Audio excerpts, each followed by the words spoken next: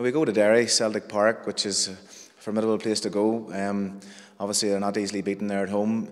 People will have memories probably of down the uh, Derry in 1994, a long time ago. But uh, look, it's it's going to be very very difficult. Uh, Derry have won the Division Two title, and obviously Brian McIver and Paddy Tally, who would be old friends of ourselves, will be out certainly to try and put one over on us.